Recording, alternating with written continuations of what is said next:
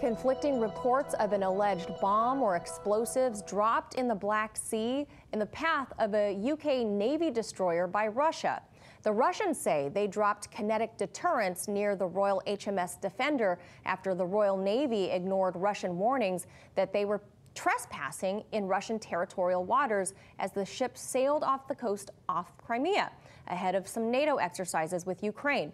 Now, meanwhile, the British just deny any of this even happened, just flatly, point blank. This is the first time since the Cold War that Russia has used a hot weapon against Western intervention. So is this NATO provocation? Or is this simply a dispute over Crimea exiting Ukraine and joining the Russian Federation?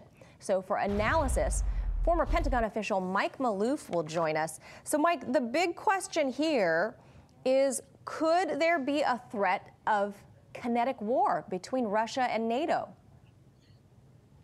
yes, I think there can be. And uh, uh, Mr. Putin has uh, basically said that Crimea is a red line. Ukraine is a red line uh, with in terms of any kind of NATO effort to try to bring Ukraine into into the uh, Atlantic Alliance. You, but it's more than that. Uh, this this is uh, really an effort by NATO, really to make the Black Sea a, a NATO sea. And and when you look at who who uh, who already is uh, surrounding the Black Sea, Moldova, Romania, Bulgaria, Turkey. I mean, these are members of NATO, and they, then you have two wannabes, Ukraine and and Georgia, uh, that would then solidify uh, uh, NATO as, as, a, as a NATO Black Sea effort, all in an effort to contain uh, Russia. Yeah.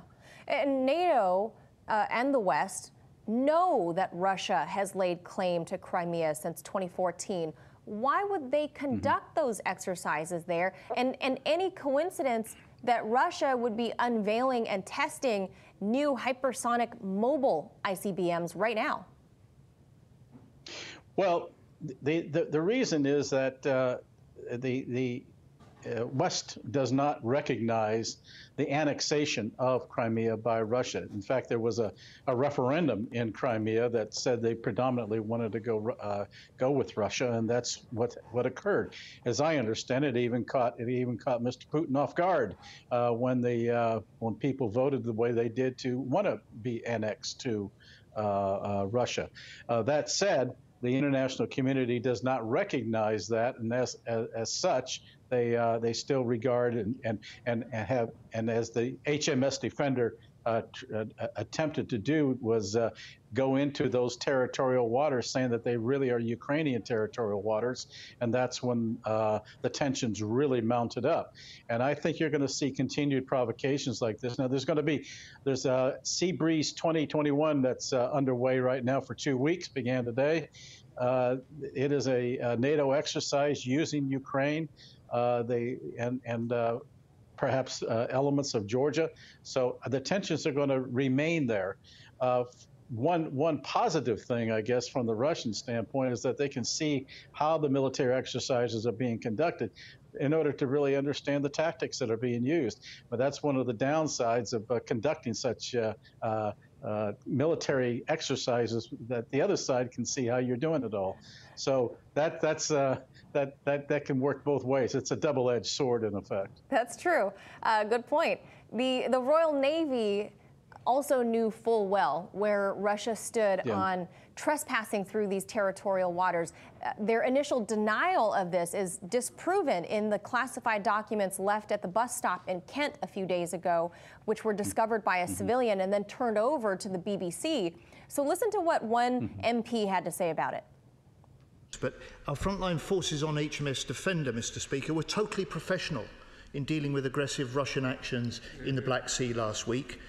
But they must be asking, what about our backup at the MOD when top secret documents about their mission, ahead of their mission, found their way to the back of this bus stop in Kent?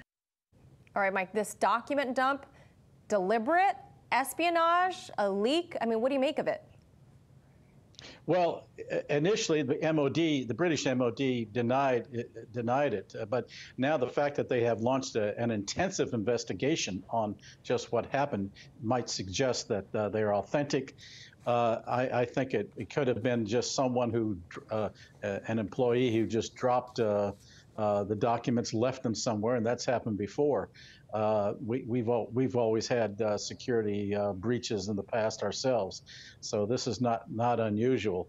But the fact is now they they probably are authentic based upon the fact that the UK wants to is investigating intensively how this happened. But it did show that uh, the documents apparently did show that. Uh, uh, the, and, and, and, and regarded the question of, well, what happens if we go into these territorial waters? What will be Russia's response? so they knew full well what they were getting into before they even broached territorial waters. And I think uh, Moscow made it very clear that you're in Russian territorial waters, stay out. But once again, you're going to see Yeah. a, a concerted effort over and over again by, by the NATO countries to try to make the Black Sea um, a much more uh, of a NATO presence there in the future, I think. And Yeah. that, and, and again, it's all to create the pressures on Moscow. As usual, with great analysis, Mike Maloof, thank you for joining us.